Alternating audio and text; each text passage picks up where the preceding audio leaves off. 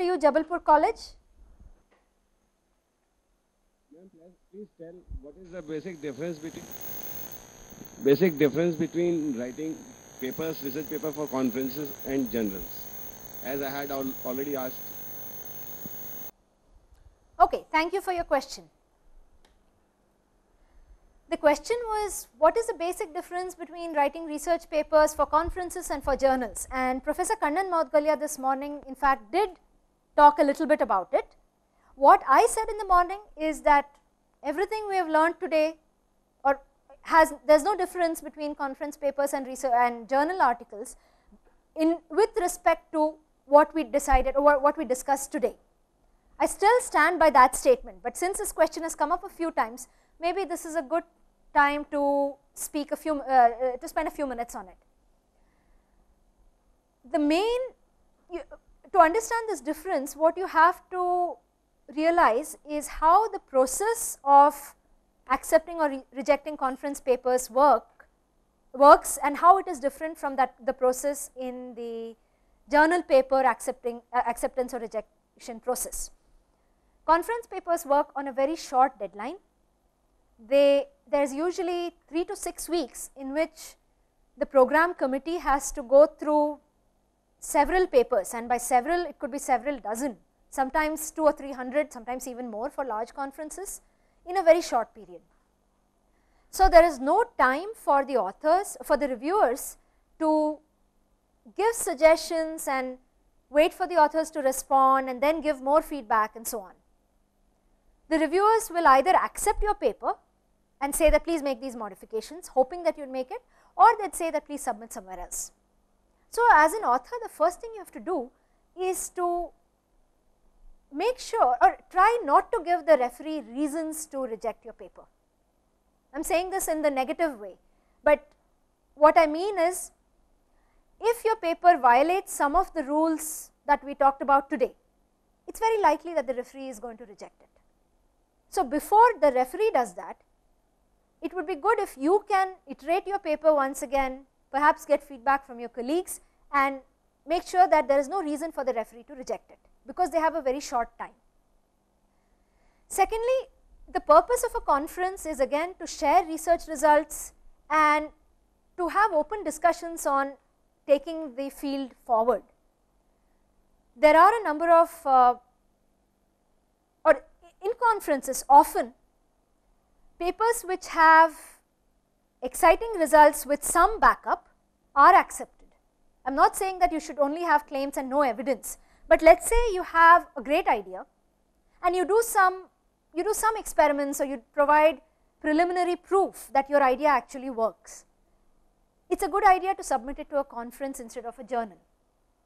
In a journal on the other hand, the rigor of the methodology is a lot more strongly evaluated. So, if you are submitting a paper to a journal, the referee uh, is going to nitpick on how, for example, in the paper A versus paper B that was sent to a conference, the paper A. If the authors had sent it to a journal, the journal would have said you have 8 students in your study, that is too small. The study is not sound, even though you have good results. So, for in the, the journal referee would have said repeat or replicate your study with a larger number of participants and then resubmit to the journal because you have a good idea. Because the idea was good and there was some proof, the conference did accept it. So, I hope this gives a brief idea of the difference that you have to keep in mind uh, between when you are submitting to a journal versus when you are submitting to a conference. R.C. Patel Shirpur, over to you. I have a question uh, stating if at all if I have to prove my architecture any architecture uh, work which I have to prove. If I am comparing with some other architecture, existing architecture, where do I get the data set onto which I can implement or uh, experiment my work on that? Over to you. Okay, uh, this is a question that is somewhat beyond my technical expertise. So, what I am going to do is try to abstract out the general question that you asked and perhaps you can post the question on Moodle later and some of your other colleagues within the domain might be able to give a more uh, let us say more detailed answer. So, the way I read your question is if you have a new method, in your case it's a new architecture, it could be a new strategy to do something. So, you have a new technique, new process and you want to compare it with something existing. Where do you find systems to implement it or where do you find the data? Uh, this is just a suggestion. One thing you could do is if you know that the data are available with some authors, you can write to those authors saying, look, I have a new method and I would like to implement my method on your data. Would you mind sharing it with me? Because science is a collaboration and the field moves forward when people work together and exchange ideas, there is a high chance that the other scientist who has the data or who has access to that system might say that, okay, this looks like an interesting experiment, I will share your data and let us work on this together. So, now the two of you are collaborating on that project, it is not that you are implementing your method on someone else's data, but two of you have now become collaborators. That is that's one way to go about solving this problem. The other way is uh, if any such data or systems are available in the open source domain, you can make use of it. Uh, again if it is not available, you are out of luck, but for some situations you might be able to find either a system or you might be able to find data where this is possible. So, as I said I, I, I am only able to answer your question from a very general point of view right now and perhaps some other colleagues can respond to you either in this chat or on Moodle later. Um, hope that is fine. Let us uh, look at the next question from MES Pillai New Panvel. Over to you MES. Uh, madam, my question is what are the measures to decide the short paper and full paper and what is the main difference between the later and the paper to be published? Thank you. Over to you. Thank you for your question and your question is what is the difference between a short paper and a full paper in a conference and how do you decide whether you should submit to a short paper or a full paper. Let me answer a slightly different, or let me make a slightly different point first. Sometimes you do not decide, but the conference program chair or editor decides and tells you to convert your full paper to a short paper if you have submitted it as a full paper and at that point you have no choice. The reason the conference editors or program chairs might say that is they might find feel that you have a good idea which is worth discussing in the conference, but you do not have typically it means that you do not have sufficient evidence or sufficient details to fill a full paper. So, preliminary ideas with which are good and interesting and which have some backing are sometimes uh, uh, the editor sometimes asks the author to, uh, to resubmit as a short paper. If you wanted to make a choice, I think you can go by the same metric. Do you have sufficient details in your methodology and more importantly, do you ha have you done sufficient number of experiments to be able to provide the evidence for your claims? Can you defend your solution thoroughly enough? If you think you have all those data, try to write it as a full paper. If you think your work has some evidence, but it is still preliminary and perhaps it is not sufficient enough for a full paper, then you can think of submitting as a short paper. So, I would go by the same metric that the conference program chairs often use to make this difference. Let us look at a question from KJ Somaiya, Mumbai. Over to you Somaiya. How to define the impact factor? Okay, thanks for your question. I did see this on Moodle and I did not answer it because I do not think we should care uh, first, yeah, I do not think we should care.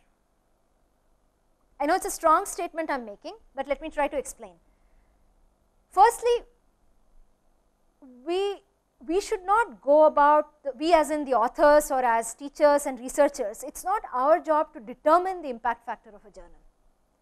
There are professional organizations that do it for us and if the journal you want to submit to, if it does not appear in the list of other journals which have impact factors, it means that either the professional organization has not looked at the journal you are interested in or that the journal you want to submit to is too new to even determine an impact factor or it is so low, the impact factor is so low that it has not been included in the list.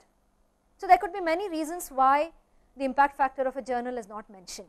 It should not be our job as teachers and researchers to try to determine the impact factor. So, that is the first meaning of I do not care or I do not think it should be our problem to try to determine what the impact factor is. The second one is a little more subtle and I think it is a very controversial issue. I, I might get into, you know, a lot of you might disagree with me, that as authors should we be looking into the impact factor of a journal when we submit a paper? And I, I think the answer really depends here. It depends on your institution.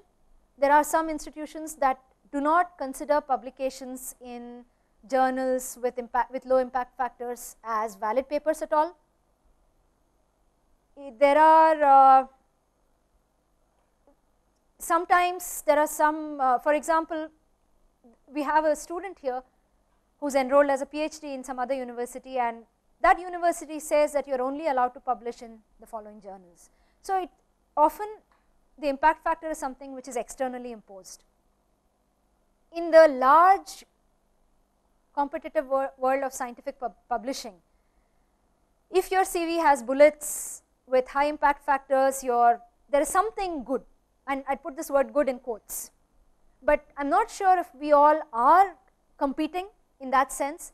I think let us just not focus on that issue at this point and instead focus on how to make our own research better and how to make it sound. Once you do it, to decide where to send it for publication, look at the relevance. Which journal has papers that are similar to what you are interested in? Which journals are read by the community that works in similar areas and use relevance as one factor. Of course, you can use impact factor to decide there, but let that not be your only criteria. And as I said earlier, do not even bother about trying to determine what is the impact factor of this journal versus that journal. Next question, PSG College, Coimbatore. Over to you, Coimbatore. Each journal has its own format. Is there any common specification for preparing a journal paper? Then why they have different formats? Different journal has. I got part of that question, so I am going to give you a partial answer. The question had to do about format of journal or of a conference. We will discuss this a little bit more tomorrow, but just briefly, most conferences and all journals tell the potential authors how to format their pa paper. Often they provide a template on the conference website. Sometimes they may not provide their own template, but they might tell you to follow for example, the IEEE template. So, if the conference says use this template, please use that template and only that template even if you do not like it. So, uh, more questions on formatting and which format to use, are something that we will come back to tomorrow.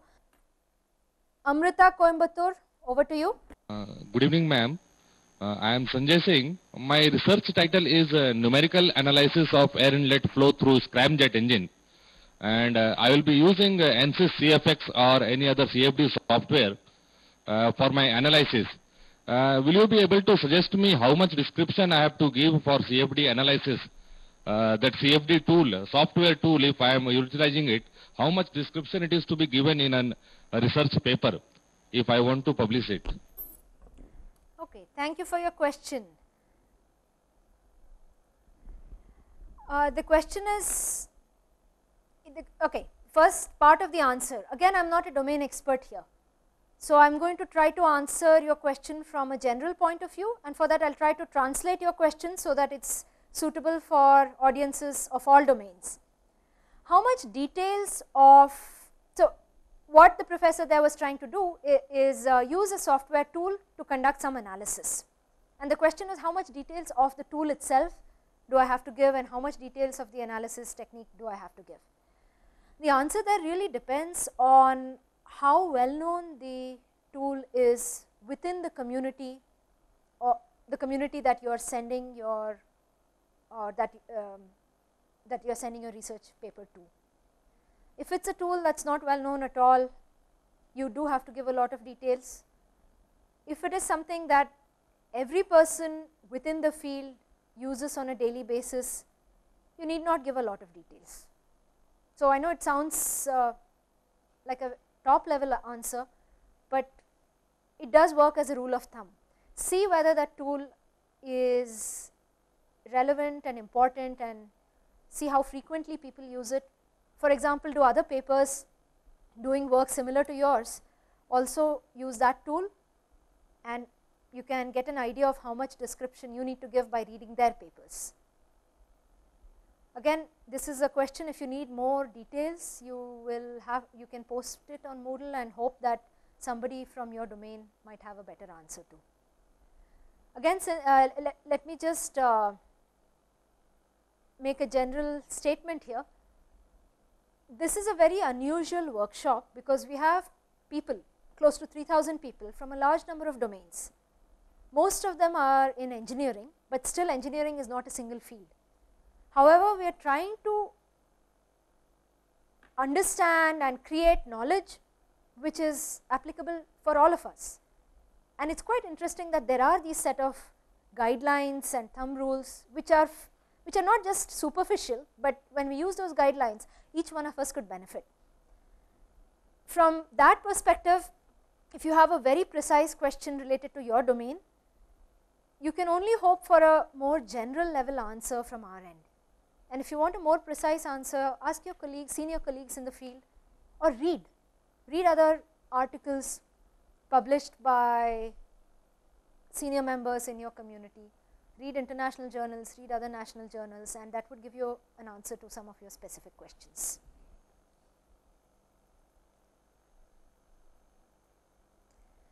The next question is from VIT Vellore. Over to you, VIT Vellore. I would like to explain is the method and procedures it's the same for technical paper presentation and a research paper on educational methodology. You are morning you are telling about the methods to be followed for a good paper. So is there any procedure differences between a technical paper, research paper and a paper on general topic like educational technology.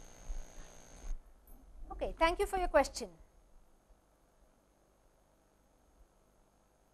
The question is when we are talking about the methodology or procedure section, is there any difference between papers in a technical domain, for example, a specific engineering domain versus a paper about education or educational technology? Of course, there is going to be a difference in the details. So, for example, in a paper as I said very specifically earlier, if your paper is about a study on teaching and learning and with students, you have to talk about which students or which teachers that is what is called a sample.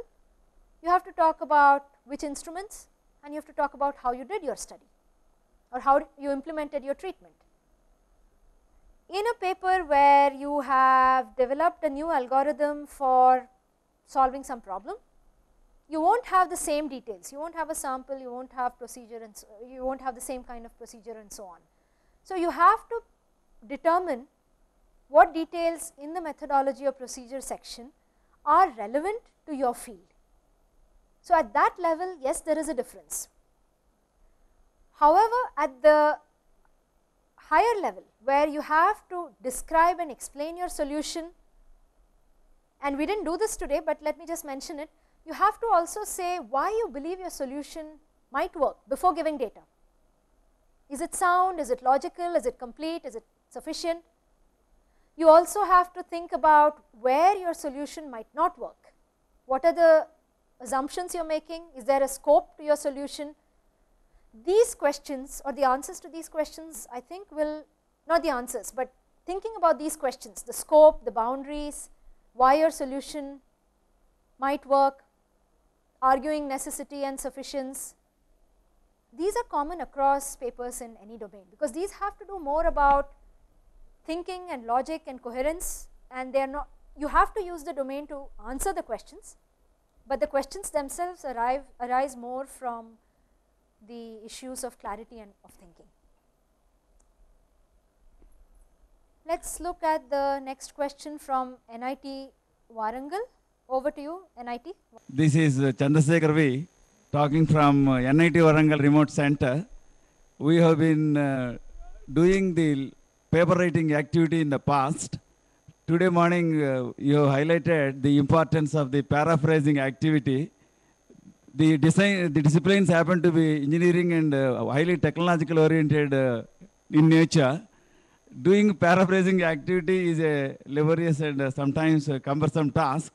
How to do this in an efficient and uh, simple and easy and more useful way for the so many researchers who have been doing research in the various emerging fields of computer science, engineering, etc. Thank you. Okay, thank you for your kind words, Warangal. And the question there was about paraphrasing. I just mentioned it in the morning and said it was important. We will do a session about it tomorrow morning. That would, I think, be the first session. I would repeat what I said in the morning that even if your domain is highly technical and even if you are working on some cutting edge problem in computer science, you are not allowed to borrow blocks of text from other people's writing and put it in your own paper. Whether you do it to make your process easier or whether you do it unintentionally, unfortunately it will get labeled with the ugly tag of plagiarism and all of us, none of us want to go there. So, what paraphrasing really means is, or what I meant by paraphrasing there was, if you read somebody else's writing and you want to mention it or discuss it within your own writing, how do you represent the other person's idea? You have to do it in your own words, you have to do it in such a way that it fits your context. That, that's what I meant by paraphrasing and that's done in all disciplines. If you may, sometimes we do quote or use two or three words and quote them directly, but even an entire sentence if we have to replicate as is verbatim from somebody else's writing, we have to make it sure that we tell everybody that this is quoted from somewhere else and we are re reproducing it verbatim. So, there are ways in formatting that you would do it. You would say quoting so and so, you might use quotation marks, you might use block indents and so on. Paraphrasing goes much beyond that. You might read somebody else's writing and you you may find that the entire section on their uh, their results are interesting and relevant for your paper, but now you have to write that in two or three lines and connect it to your work. That is paraphrasing. I do not believe that or I do believe that even technical papers have to do it all the time. I hope that answers your question. Let us look at SRM Kanchipuram. Good evening ma'am. In certain case when we submit the paper to journals, they simply reject without even giving the reviewer's comment. So what could be the reason? How to improve the paper? Over to you The question here is what, what to do if, we get a reject from a journal or a conference without and they give us no reason. And believe me, it is very painful. I am sure it was very painful even for you and that is why you are asking this question. Uh, what I would suggest at this point or, and especially after these two days of the workshop, you have now more tools in your writing skills toolbox. You know some common things that referees are looking for. So, what you could do is first do a self check, self assessment of your paper and see if any of these features that we talked about today is missing or any guideline is violated. What we are trying to do here today and tomorrow is to also take you through the minds of the referees and try to help you and try to help you get into the referee's mind just like we have been talking about getting into the author's mind. For example, the referee is looking for clearly stated contributions. If they don't find it within the first 10 seconds, or let's say 30 seconds of a research of a conference research paper, it is possible that they won't even bother looking for it because they have 10 papers to review by next Thursday. Armed with these tools, I'd suggest that you first go back to your paper and check if you have uh, implemented these guidelines. If not, revise them based on these guidelines. If you'd like, bring this paper tomorrow and we'll try to have an activity where you take a small section of it and improve it. In fact, tonight you can go and see if you had the problem stated, if, you have if your problem was, uh, the, the importance of the problem was explained and so on, all the guidelines that we talked about today. The graphics aspect. The second suggestion I have for you is give it to a colleague, maybe a senior colleague who has more experience in, in publishing. They might be able to say why it got rejected and use their tips. The importance of friendly peer reviews can't be overstated. Use your colleagues, it's not, they're not going to judge you. Their comments are going to help make your paper better and you might return the favor one day for them. Um, I think those are the two main comments. So, firstly be aware of what re referees are looking for and hopefully these two days will give you a sufficient set of ideas about that. Secondly, run your paper with more experience by more experienced colleagues and take their suggestion, suggestions more seriously. It is a, it's a disheartening place to be if that happens. Well, I, I can I'll give you one more reason why that might happen. Sometimes you might have submitted to a conference where the themes of the conference were different than what the theme of your paper was. So, your paper might be very well written, but it just didn't fit the overall theme of the conference. Check if that happened. If you think your paper was really well written and it had a coherent flow, see if in terms of topics it did match. So, it is a, it's not an easy question to answer, but I hope some of these tips will help you improve the paper. Next question from Erode. Over to you, Erode. Madam, our participants having three questions, madam. Question number one, what is the difference between national paper, national conference paper content and international paper contents, conference content? The second one, what should be the contents of extended abstract? And finally, uh, one small silly question, sir. Right from the morning, we are discussing about the techniques of paper writing or it is a technical paper writing. Over and out, madam. Okay, thanks for your questions. I think I'll begin with the third one first because it's fresh in my mind. And I should say that there is no such thing as a silly question. It's really not a silly question, but I'm not sure if I understood it very precisely. Let me try to clarify it. When you use the word, when we say technical paper, what I mean by technical here is something that would be published in a serious academic journal, regardless of the domain. There are differences between domains. In fact, there are differences between papers of computer science and papers of electrical engineering, even though they are very related. There are perhaps wider differences between papers in engineering and papers in education, or if we go further, papers in history. So, the word when we say technical here, technical content, we mean serious academic content we are not going to deviate to domains which are very different from or the, the guidelines we have been talking about so far hold true for papers in engineering, science, mathematics, computer science, educational technology, at least these. These are papers that among us faculty members here, we have some collective experience and all of us are saying the same thing. Now, with the, for such papers, what are the strategies, what are the techniques that would help make the paper clearer, stronger, more effective and so on has been the topic of our discussion all of today. Okay, your second question going one step backward is about extended abstracts and unfortunately we haven't had too much time to talk about normal abstracts yet. Professor Kannan did mention a little bit about it. We will try to come to normal abstracts tomorrow.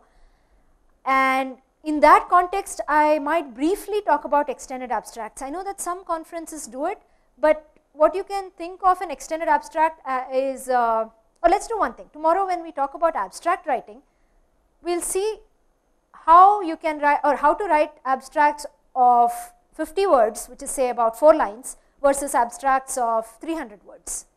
And you can, we'll look at what must go into the 50 word abstract, what must go into the 300 words. First what we'll do is try to find out what must go into an abstract and then we'll try to look at differences. Again as I said try because I'm not sure of how much time we will have for that activity. If we can't do it on, uh, if we can't do it live tomorrow, we'll at least pick up that question on the Moodle forum. And your first question was, can somebody help me here? National, thanks, national conferences versus international conferences. Unfortunately, I still don't understand that question very well because in my mind, I'm not classifying conferences as international or, or national. The, your institution might, my institution does in fact. on the one hand, it's a label. On the other hand, it can be about the content that is there in it. So there is no rule that says that all national conferences are blue in color and all international conferences are yellow. There's no such rule. That's why I can't answer your question very easily. What I'd ask you to focus on more is the quality of papers that have been published in that conferences in that conference in the previous years and see if it is if you feel your paper fits there and if you feel that the quality is uh, that the conference is maintaining some standard and use those metrics to judge which conference you want to send your paper to. Of course, if your institution has rules, you have to follow it. You have to overrule everything that I am saying. Next question, VIT Pune, over to you. I want to ask, a lot of engineers are taking up PhD work these days. So, considering the limitation of the individual, I want to know whether there is any forum which will certify that similar work has, been, has not been done previously and there are no chances of repetition of the work. And my second question is, what is the difference between project report and research paper? Are those the same?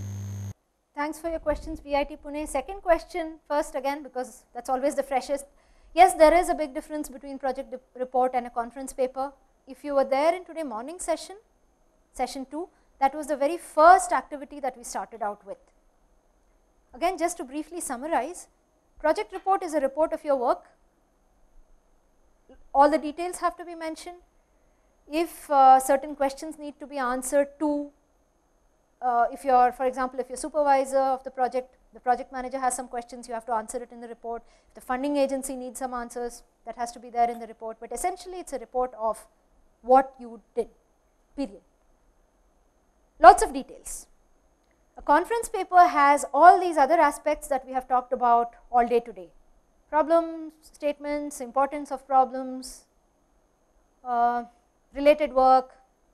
So if you just go back and think about everything else that we talked about today, those are not necessarily there in a project report. What we will do again as I said is we will post these slides on Moodle and you will take a look at, you can take a look at uh, the first, very first slide from session 2 today morning. And the question is, is this, uh, first or the second one, is this a, is this a uh, conference paper, is this a research paper? Most of you said, no, this looks like a project report, it's not a conference paper, it's not a research paper because it is only about your work, it doesn't talk of context, importance and so on. First question, again I'll have to ask the audience to help me here. Ah, forum to judge, is there any forum to judge if previous work has been done before? I am not aware of an explicit forum as such. So, if anybody else wants to answer that question, please go ahead. I am not going to say either yes or no. All I am saying is I do not know, but again a better attitudinal stance to take is to do the hard work oneself because that is really how science progresses. That is how knowledge is created in the community. Do the hard work oneself, look at the relevant work. Of course, if you know other people who are doing similar work, talk to them, share your references between each other. But there is no Google that where you can feed in the, well, there is a Google where you can feed in some, top, some uh, phrases from your work and see if it gives back any reasonable hits. Do it on Google Scholar instead of Google. But if you say, has anybody else done this work and put the question in quotes, it's unlikely Google is going to say, Google or some other automated agent is going to say yes or no. I don't know of any. So I have to plead ignorance here.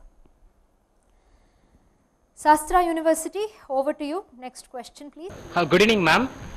Uh, ma'am, I am having doubt regarding. We have uh, we are focused on the developing of the paper, ma'am. But how to give a suitable title to the paper? Because we will do several algorithms and several techniques for uh, for the entire paper. How to give a suitable title? Because if the entire algorithm and uh, approach will be come to the title means it, the title will be very big. So how to give a suitable title? And another another doubt is what is the difference between the novel paper and uh, survey paper, ma'am? That's all. Thank you, ma'am. Okay, thank you. Good questions, as Professor Sunoj taught us to say this morning.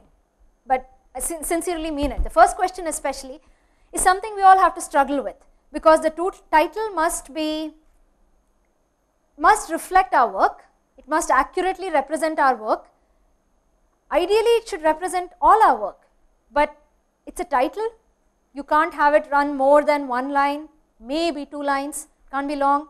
It has to be attractive and so on. So there, there are these competing issues and how do we select. If we had done activity 2 today, there was a slide in it. You can take a look at the paper template if you want. We will discuss it again tomorrow as to how to choose a paper title. I'll just try to reply this in brief today and we'll come back to this tomorrow. Uh, remember this idea of key contribution that we have been talking about since morning? Use that to decide your title. So once you know what the key focus or the key concept of your paper is, identify focus, make sure there is no more than one or two, one or two uh, points of focus and so on. So identify the focus of your paper and also identify the contributions, your contributions. Write that out. And then what I'd suggest is think of three titles for example that reflect your key contributions and somehow also have the main concept, the key focus underlying within the title itself. Once you have these three titles, then you can start playing with it. Just the first is a brainstorming exercise. You can even ask your colleague, here I have three titles. All three of them represent my contribution pretty accurately. Which one sounds more effective? That's one way to go about it. So the homework you have to do before you write your title is identify the key contribution. The reason that's important is what if the referee has only sufficient time to read the title and nothing else? Usually people don't throw out papers with uh, based on title. But suppose I see a paper called a new way to use Moodle. I'd be really reluctant to read the rest of the paper. I'll have to, I as a referee or I as a reader, will have to gather a lot of energy to even decipher what this person is doing. On the other hand, suppose your title was uh, project, ba project based learning implemented through Moodle for first year programming.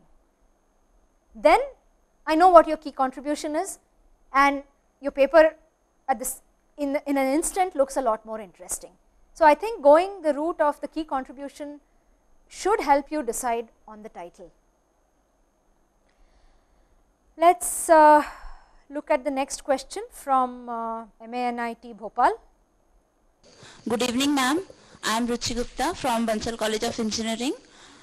My question is how abstract of a research paper should be made and what are its mandatory constraints? Over to you. Thanks for the question. How should the abstract be written? What are the crucial features that must go into it? And I am going to use another strategy that Professor Sunoj said, but not because I do not know the answer, but because we have a small mini activity tomorrow or in one of the sessions tomorrow we will be talking exactly about this. So if you can just hold on till tomorrow afternoon and if I haven't answered your question till then, please repeat your question. But how to write the abstract is something which is important similar to how to write the title because these are two things which people will first read. Uh, to give a very brief answer, yeah, uh, Professor Kannan did answer this to some extent in the morning. Actually, he gave some very good suggestions that do not write about general ideas in your abstract. Do not, do not say technology is a very important uh, new development in education. Instead, say what you did. So that's, I am just summarizing what he said and I think I will leave this question here right now, we will come to details tomorrow. Next question, Truba College, Indore, over to you. My question is, could you guide us regarding the maximum or minimum number of references which to be included in a uh, conference or a journal paper? Over to you. Thanks for your question. What is the maximum or the minimum number of references that one should write in a research paper? There is no unique maximum or minimum number. I am sure you are not happy to hear that answer, uh, but that is really the state of affairs. There is, I can't say 1 is minimum and 10 a maximum or so on, but here are guidelines.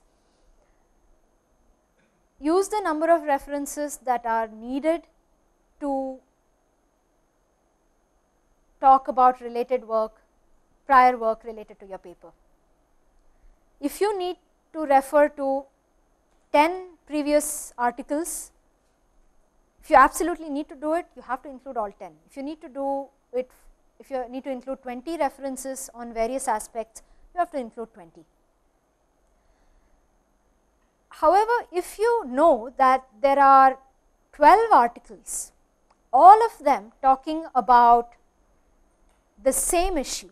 You need not refer to all 12. There what you do is make a choice depending on which of those 12 capture most of the issues that you are talking about. So, I will give you an example here. Let us say uh, we were doing this paper A and paper B and you wanted to talk about benefits of visualizations. There are over a hundred, maybe my colleagues and students here can maybe say that there are 300 papers or 500 on benefits of visualizations. Of course, we are not going to talk about all 500. We will first shortlist them or look at the ones which talk about the benefits from the perspective we are looking for. So, if we are looking for students understanding of dynamic processes using visualizations, we will shortlist it along that category. And let us say even then there are 15 such papers look at whether any of those 15 is a survey paper that refers to all the other papers, all the other 14. If so, it is sufficient to cite that one survey paper. Maybe you can make a note somewhere saying refer this article and references within. If there is no single paper that encompasses all other references, then I would say pick some representative number. Sometimes people go by the most recent references as a guideline. At other times people go by the guideline that they will pick the most seminal or the most cited papers. So, all these are valid guidelines to decide how many references you have to include. If you include very few references and again there is no number here, but let us say your paper had only one reference, it would raise a flag because it means either that you are unaware of work done regarding your topic. That is not a good thing to do. It is very unlikely that one and only one other person has talked about any of the ideas you mentioned in your paper. Worse, it means that you know of it and you are unwilling to acknowledge it. So, both those situations are not good. Um, I think that that is all I have to say here. If you say that I am going to include 200, well you are welcome to, but that is going to take 4 pages and that is 4 valuable pages out of a 6 page paper. So, you have to strike a balance here, but the earlier guidelines that I suggested that try to shortlist on the basis of papers that talk about exactly those issues that you are discussing in your paper.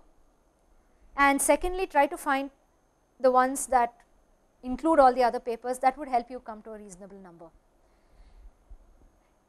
In uh, one of the previous participants had asked a question, I had forgotten to mention that. I think he asked what's the difference between a research paper for a conference and a survey paper. I, I remembered it because I mentioned a survey paper. Survey paper is exactly that. It survey it does a very comprehensive, very thorough survey of a fairly well defined topic or subtopic. In a way, it tells the reader what are all the things that other people have done related to this subtopic.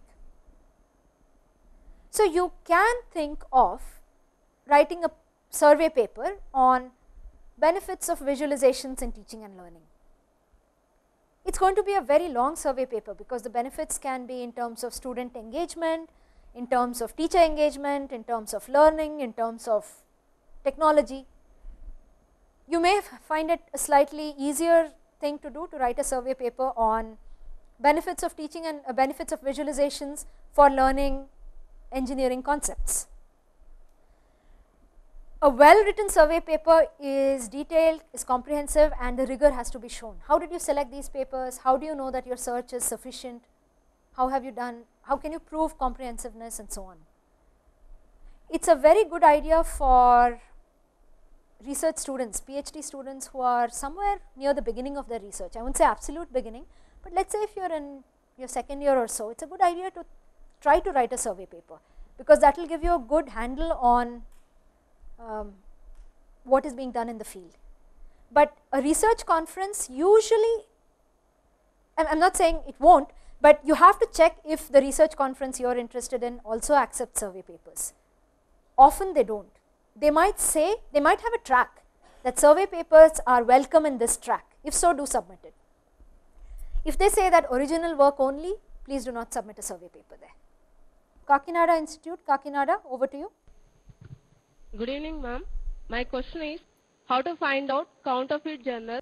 Okay, thanks. Uh, okay, this is, I'm, I'm not sure if I'm really qualified to answer this. The question is how do you identify a counterfeit journal that doesn't really exist?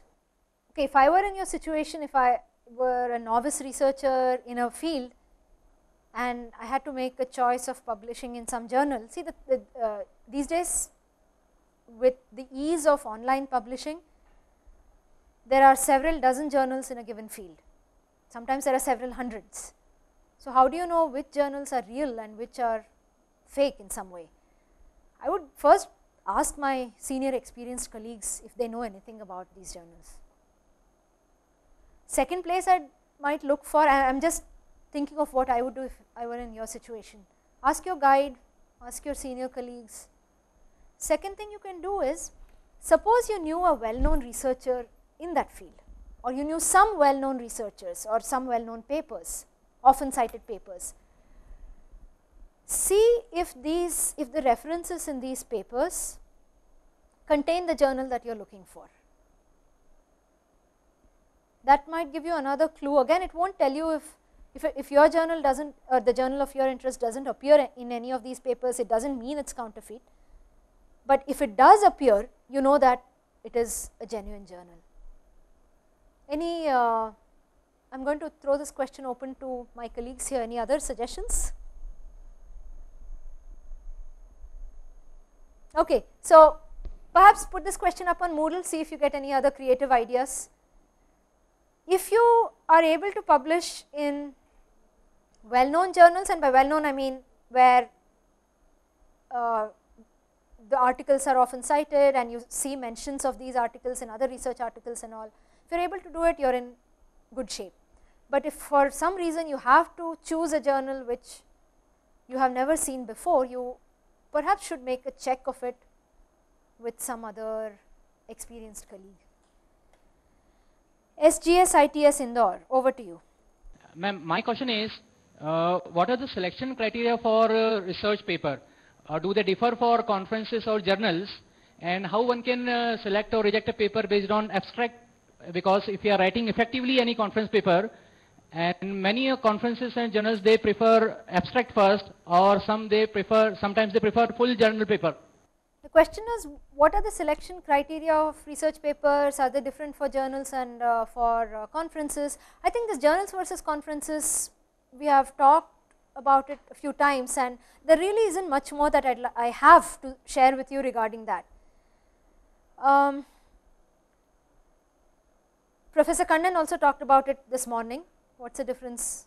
What are some differences? The review time was one, the novelty aspect was one and beyond that I would say sound features in a conference paper are also sound features in a research paper and so on. Now it is true that there are some uh, conferences that only ask for abstract and decide based on the abstract.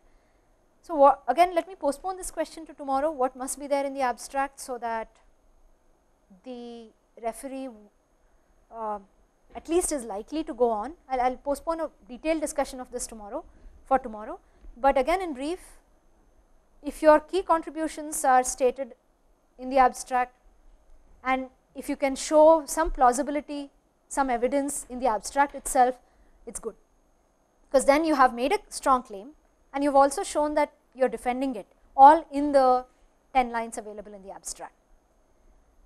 An abstract that is likely to get rejected is one which is very general that talks about why technology is good in education or talks about uh, why one must follow guidelines while writing programs. So, the more broad you are, the more likely that the, if you are broad and rambling and do not get to your contribution soon, it's, there is a higher probability. Again, I am speaking loosely here, but there is a higher probability that your paper will be rejected. More details tomorrow. Baramati, over to you. Myself, Professor Thakre. My question is, is it necessary always to quote the references?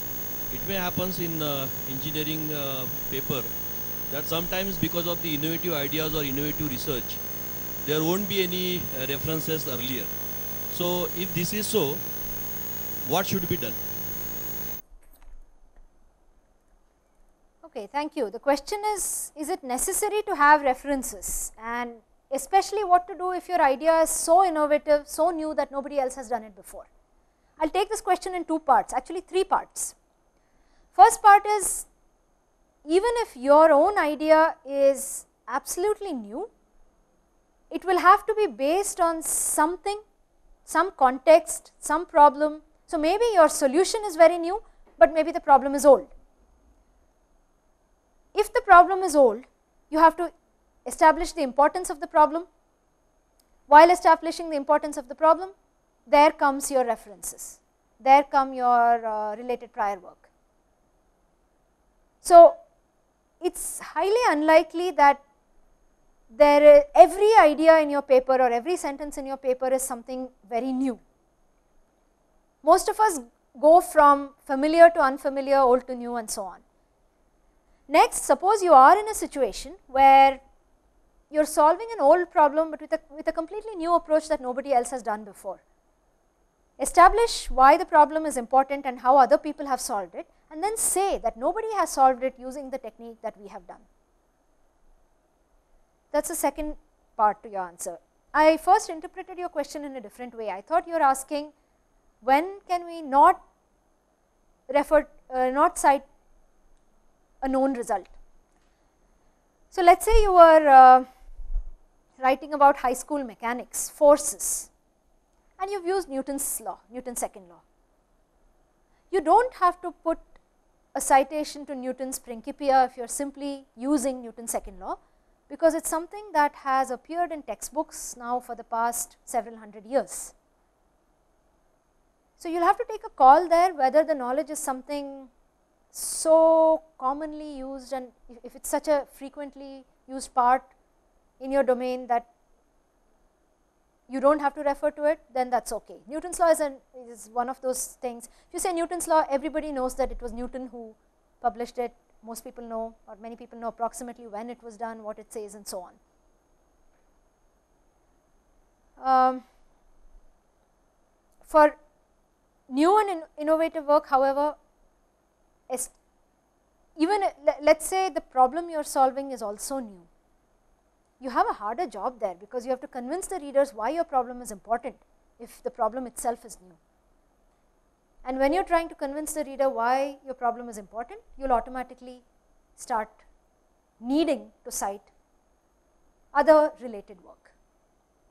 Let me do one thing here. Since we have done one full round uh, and it's almost 6 o'clock, so I look at the chat window for a few minutes and we'll have we'll try to have one of these sessions again tomorrow afternoon.